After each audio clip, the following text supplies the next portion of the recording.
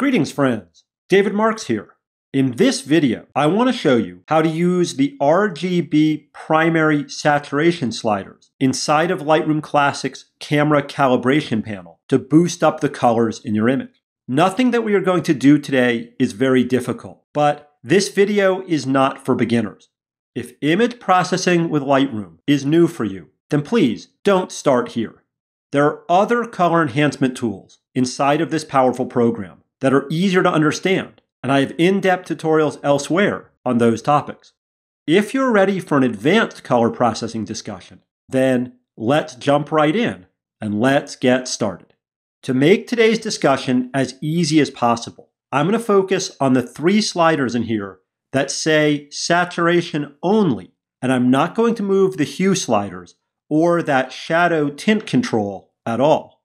The math behind these controls is beyond me, but it's pretty easy to figure out what these sliders do not do. First, it's clear that these are not like any of the other saturation sliders that we have throughout this program.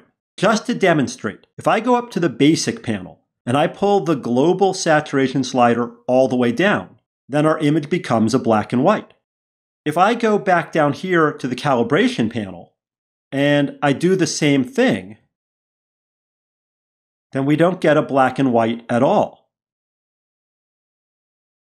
Likewise, if I reset these and I go to the HSL panel, here, if I push or pull the red slider around in here, then you can see how this tool changes only a very narrow range of colors within this image.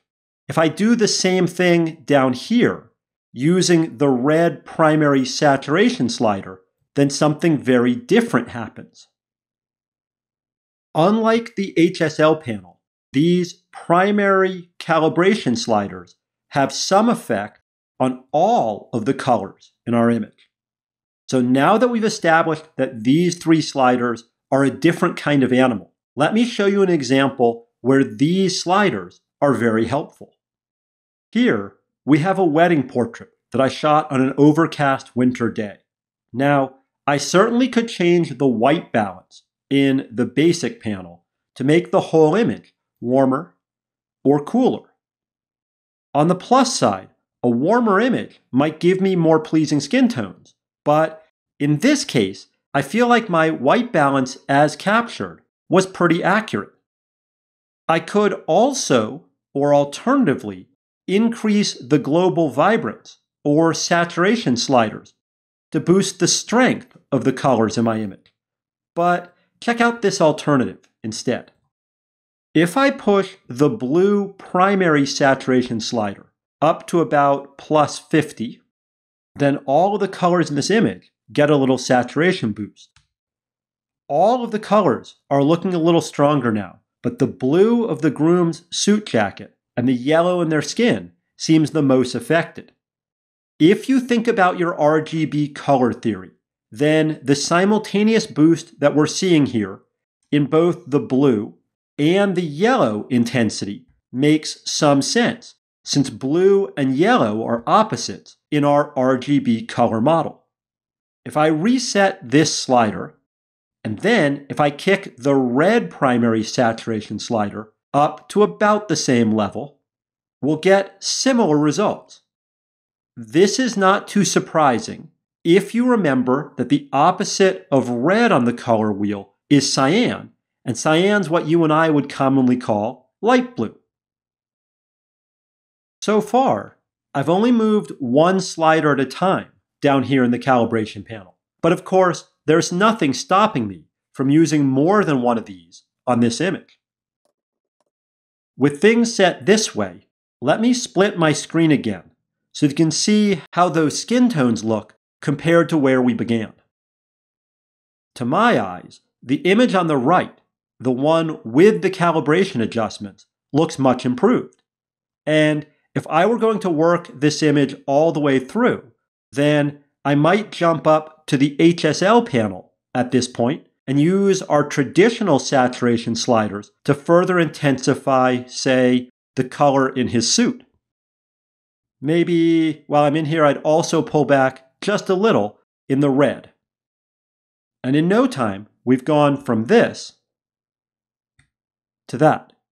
Now I could keep going and working on this image, but instead, let's move on to another example. This time, we have a sunrise from one of the spots that we visit on all of my Glacier National Park photography workshops. This was one of those blessed mornings when we had great light, but when I look at this raw file right now, the colors feel pale and muted. I could, of course, pull the vibrance or the saturation sliders up here in the basic panel. And on some images, tweaking these global color intensity sliders is all that I need. But on this image, I'm willing to put in the extra effort and to see if I can do better using the RGB primary saturation controls down here instead.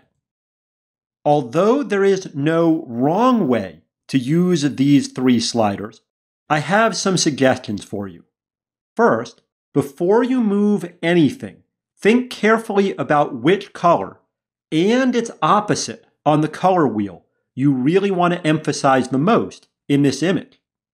To my eye, what's the most muted here are the blues and yellows, so that's the slider that I'm going to adjust first. My second suggestion since we know that these sliders will have some effect on all of the colors in your image, I try to only move one or two of them per photo. Let me badly overdo this just to demo why. This, this is what we don't want. Aside from the image looking cartoonish now, when you saturate every color in the rainbow, it does nothing to guide your viewer's attention around the image. The way that the human eye works, our attention is inherently attracted towards the warmest, richest parts of any photo.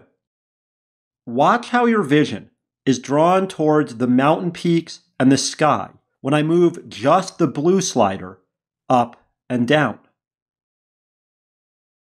On most images, Moving only one or two of these primary saturation controls is all that we need to effectively get our viewer's gaze moving in the right direction. This brings me to my third suggestion. I don't believe that the numbers here, this plus 50, are meaningful numbers, but I found after years of experimentation that if I'm going to move a second primary slider then I want to try and move it no more than about two thirds as far as the first one. Two thirds of 50 is about 35. So that's roughly the maximum amount that I'll pull up either the red or green primary saturation controls. Again, there's no rule that says that I must adjust a second control at all, or that I need to pull it all the way up to that two thirds limit.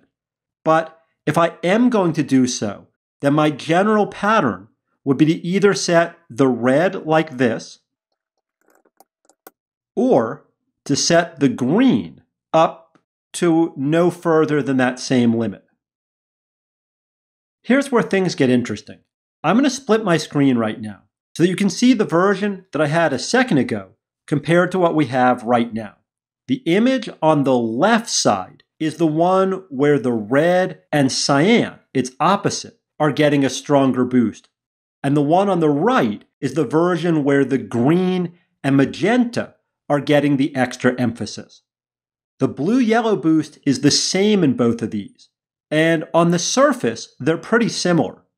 But if I zoom in, then there is a noticeable difference in the sky here compared to there, and I think there's a bit of a difference too in the reds along this mountainside. Which one is better? Well, that comes down to your taste in color. What I think we can all agree on is that this, the version on the right where I have the calibration enabled, is the far more interesting, far stronger photo.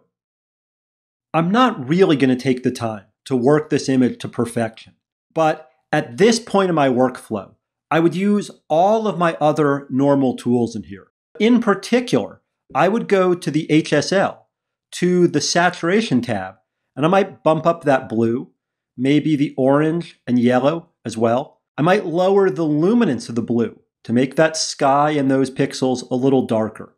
And ultimately, I would find my way all the way up to the masking panel, where I might use the AI generated sky mask to target a change to just that part of the photo. In here, a little bit of dehaze, maybe a little texture, and a little contrast might really add a lot more drama into that part of the sky. Now, the point I want to close with on this one is that these calibration controls, these are just one part of a coherent color workflow inside of Lightroom Classic. It's easy to get obsessed with these guys, and they're important. But remember, they're just one of many tools that you have when you want to perfect an image like this one. I hope that you found this video helpful. If you learned something today, then please hit the subscribe button and leave us a like or a comment down below. Thanks for watching, and I'll see you in our next tutorial.